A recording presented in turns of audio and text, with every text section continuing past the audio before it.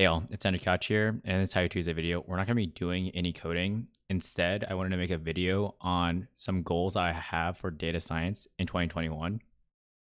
But before I start this, um, I wanted to say that I have a Google form link uh, in the description because I am running up towards my one year anniversary for the Tidy Tuesday project. And for that one year anniversary, I want to make a Q&A video. So I created a Google Sheets um, or a Google form a sheet, and you can just basically enter in a name. So you can say like first name, your Twitter, or your YouTube username, and you can just ask me a question. And you know, th- these questions kind of be about like my background, data science as a whole, you know, advice for uh, what class to take in college, or you know, how to do interviewing and stuff like that. So I figured I'd do that. So you guys could have asked me just anything what you want, anything you wanted, and I could go over that for my one year anniversary. So the five things that I'm going to be looking at uh, for data science in 2021 is mostly skill development. So one of the first things I really want to emphasize, I really want to start learning is just learning DevOps.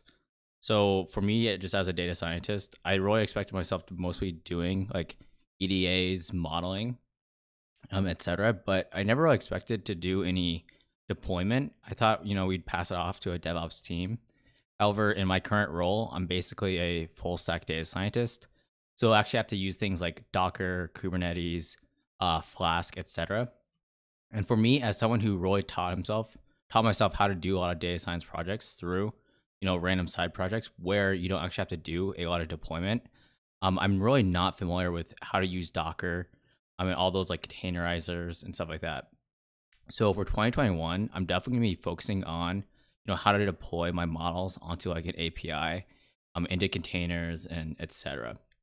So I think I'll probably stick with Docker just because my team uses Docker, but I also might do some Flask stuff. So you're probably gonna see me kind of look into using it, and maybe in doing it with like uh, shiny dashboards and etc. Um, my fourth or my second skill that I want to learn is basically how to write more efficient code, and I'm gonna do it uh, two ways. The first way is I'm gonna probably just do a bunch of LeetCoding. Uh, I definitely am not a, a, solid programmer at all, but I can do some basic beginner LeetCode questions, and I think they're pretty fun. So I figured I'd do some LeetCode um, throughout uh, 2021. I'm also gonna be looking at 538s, um, the Riddler. So let me see if there's a, um, which I've made a video on, I think a few weeks ago. So I'll probably start working on like you know some Riddler questions um, every other week.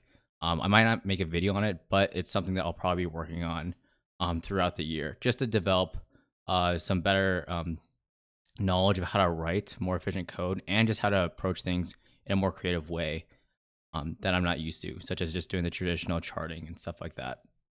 So for the LeetCode, I think it just is pretty helpful for a lot of data scientists is to like think of it as like a software engineering um discipline um, I think a lot of people think data scientists are more of a stats discipline, where I think it's going to be more transitioning towards you know software engineering.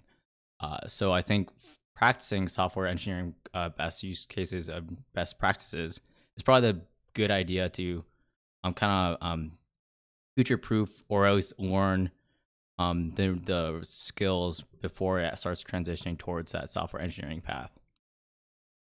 Um, the third thing that I'm I want to learn is something that I don't think is very useful in my field, but I think it's pretty useful um, if I want to do a lot of data visualiz- visualizations, which I like to do as like a side hobby, which is to learn D3. Uh, D3 is like a JavaScript language basically made for charting.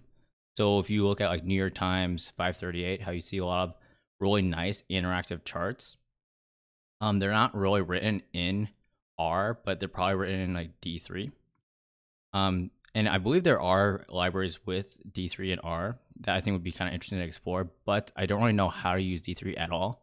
And I think it'd be a fun language to learn just because um, it's a very, it seem to me, it seems like a very rewarding language to learn because you get the instant gratification of a nice looking chart. And what I really like about D3 is it really forces um, people to use different charts that aren't your traditional bar charts, scatter plots. You can do some interesting like uh, bubble charts. Um, I know there's a lot of like grams, stuff like that. So I'm just gonna do a quick little Google thing. and you can see there's a huge selection of charts um, that are pretty cool. And I think it'd be an interesting uh, language to learn just casually, uh, nothing too serious. But um, I think a lot of the charts are really cool. And, you know, you never, you never know if you want to go into like data journalism. Um, I think learning D3 is a pretty good asset to have. Uh, or if you're making very, um, uh, very uh, productionalized uh, dashboards, D3 might be a good language to learn too. I just find it interesting because you can make a lot of cool charts, um, but uh, it might be useful in the future. Uh, you never really know.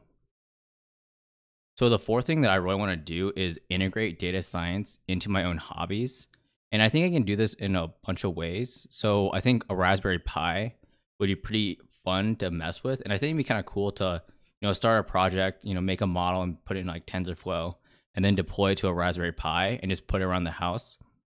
So I think maybe buying a Raspberry Pi, since they're pretty cheap, and just doing some software engineering, uh, you know, maybe using some Python that I learned um, in the past uh, and during college, and then integrating it with R would be a cool thing to do.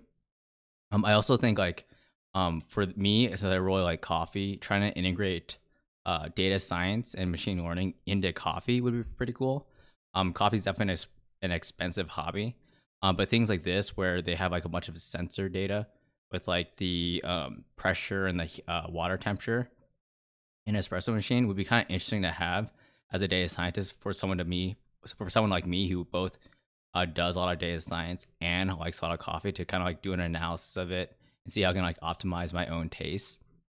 So I think just integrating, you know, kind of uh, kind of some of my skills in data science into some side hobbies that I like to do um, that aren't directly related to data science would be kind of fun. Um, and it would be kind of a cool thing to make a few videos on it.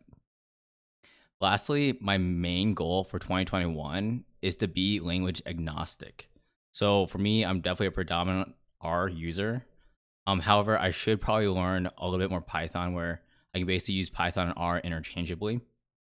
And one of the ways I'm going to do it is probably just download one um, you know, IDE. I think Visual Studio Code is a pretty good one. I know there's also PyCharm, but I have VS Code right now, and I've been using it at my work. Just I'm messing around with it. I don't really do any pro. I don't really do any projects with it, but I definitely mess around on VS Code if I have some free time. So I think probably for 2021, you might see a few Python videos. Uh, probably not about just teaching Python, but more about integrating, you know, previous R users R users into the Python environments so, you know, transitioning from like the tidyverse uh, using dplyr to like pandas or numpy, and then transitioning from like tidy models to scikit-learn and kind of doing some comparisons. Um, so that's basically one thing that I'll definitely be focusing on is trying to be more uh, language agnostic. You know, really sharpening my skills in Python, even though I think Python is a pretty simple language to learn like academically, academically, but using it as a data scientist and putting it into your projects when you come from an R and tidyverse background. Uh, could be a potentially a little challenging since it's a different uh, framework of programming, uh, since it's like a class object oriented programming. So I think that's one thing I definitely will be focusing on, and I'm I'm sure I'll make a few more videos on, you know, Python, probably maybe probably just pandas, scikit-learn, and maybe some other uh, libraries, but you know, pretty simple libraries that uh, mostly everyone uses in their data science stack. So I know this is a pretty short video, um, I had uh, Christmas and now I have New Year's, so I didn't want to do a lot of coding. Uh, but I will be making a uh, a dashboard, R Shiny dashboard video about like modules, and also make I want to make a uh, R Shiny video on comparing like Flex dashboard, Shiny dashboard, and all those other Shiny dashboard frameworks. Um, in a more uh, uh, so I'll probably do that in a few weeks. Um, I will say that make sure you write uh, you submit a question on my Q and A video form in uh, the description uh, because I'd like to get that video uh, prepared. But I'll see you guys next week and tidy on.